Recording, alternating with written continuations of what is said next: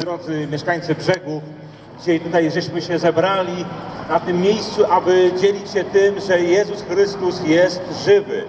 Dzielić się tym, że Pan Jezus Chrystus, który 2000 lat temu cierpiał na krzyżu, umarł, ale zmartwychwstał i jest tutaj. Jest żywy. I ma moc, i ma władzę. I życie, życie z Panem Jezusem to jest przede wszystkim relacja, to jest społeczność. Każdy człowiek, który żyje na ziemi, potrzebuje spotkać się z Jezusem w, w sensie duchowym, żeby być zbawionym. Ten sam Pan Jezus, który chodzi 2000 lat temu, uzdrawiał, uwalniał i dzisiaj tu obecny w swoim duchu, tak jak obiecał. Życie chrześcijanina to nie jest tylko, to, to nie jest chodzenie do kościoła, to nie jest wypełnianie regułek, ale to jest relacja i społeczność z żywym Jezusem Chrystusem, Synem Bożym.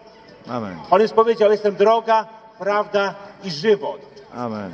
Te Słowo Boże mówi, że wszyscy zgrzeszyli.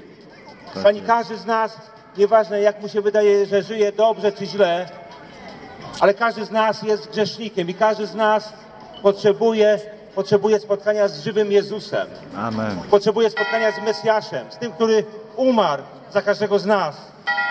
Jezus Chrystus jest odpowiedzią na Twój każdy problem. Żywy Jezus jest nadzieją na Twoje zmartwienia i uzależnienia. Na jakikolwiek problem masz, którym sobie nie możesz poradzić. Jezus Chrystus ma moc pomóc Ci. Dlatego, że On żyje. Doświadczamy Jego realności, doświadczamy Jego mocy.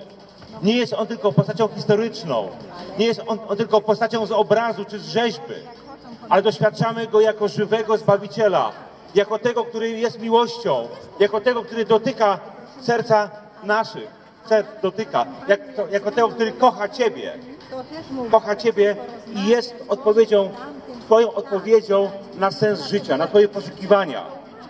Jezus Chrystus jest żywy. Zapraszamy Ciebie, drogi przyjacielu, tutaj do nas.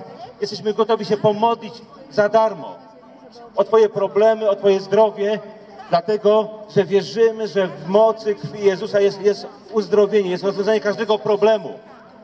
Zapraszamy Ciebie.